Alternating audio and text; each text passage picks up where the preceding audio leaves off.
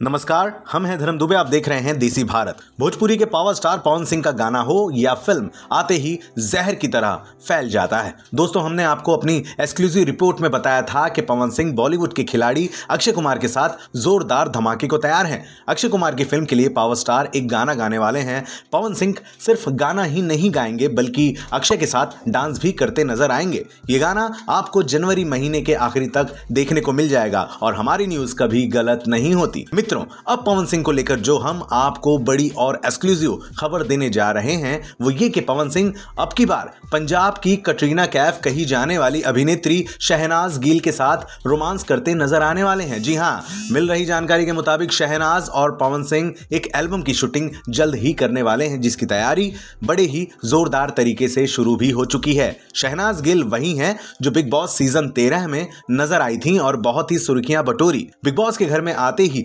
शहनाज की जोड़ी, भोजपुरी के सुपरस्टार खेसारी लाल यादव के साथ जमी। दोनों की दोस्ती के चर्चे भी हुए। खेसारी के फैंस ने कहा, शहनाज से दूर हो जाओ, वरना आपका गेम बिग बॉस के घर में बेहतर नहीं हो पाएगा। कुछ दिनों बाद खेसारी जी बिग बॉस के घर से बाहर हो गए और शहनाज ने टीवी एक्टर सिद्धार्थ शुक्ला का साथ पकड़ लिया। साथ भी ऐसा कि शहनाज और सिद्धार्थ का लव अफेयर है, ऐसा कहा जाने लगा और शहनाज फाइनलिस्ट भी बनी। लेकिन शहनाज गिल अपना पहला भोजपुरी सॉन्ग खिसारी जी के साथ न करके पवन सिंह के साथ क्यों कर रही हैं? इस अहम सवाल के साथ इस एक्सक्लूसिव न्यूज़ का समापन। बने रहे हमारे साथ।